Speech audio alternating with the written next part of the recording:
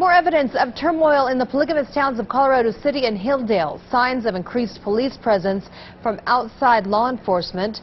This comes as followers of imprisoned leader Warren Jeffs have been told to prepare backpacks for the end of the world that is coming this Sunday. Ladd Egan live in southern Utah with more for us. And Ladd, this isn't the first time that Jeffs has made this kind of doomsday prophecy.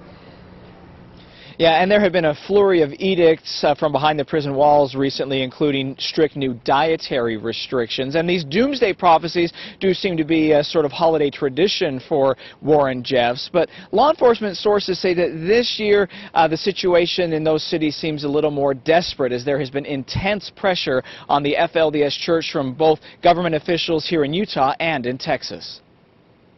There are more deputies around here now. It used to be two at any given time. Now there's six. Residents say the anxiety is ramping up as followers of Warren Jeffs prepare for the end. We're all supposed to make these gray or blue backpacks two by two by one, pack them with essentials, be ready to go at a moment's notice. The latest published revelations from Jeffs warn to be ready for a disastrous cleansing predicted to be December 23rd. He's done nothing but suck from this community. Former FLDS member Isaac Wyler says he's heard it all before. It's just Warren whipping them up into another frenzy to gather money. And when the end doesn't come, Wyler says Jeffs will still be right and blame his followers. You didn't have enough faith for it to happen. Otherwise, it would have happened. So it's your fault that it didn't happen. While the false doomsday predictions usually come and go, Wyler says the blind obedience to Jeffs could someday lead to tragedy. I've got a brother-in-law who once told my sister, he says, if, if the prophet told me to, I'd slit your throat without even thinking about it.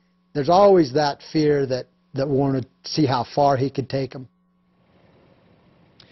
December 23rd is uh, Joseph Smith's birthday, and that's the only connection former members of the FLDS Church can find to why that day has been picked uh, for that doomsday prophecy. I did reach out to law enforcement agencies on the Arizona side and on the Utah side to see if there'll be any sort of enhanced patrols on that day in those cities. Shauna, I'm told that they can't discuss staffing levels or schedules for security purposes. Back to you. All right, Ladd, thank you.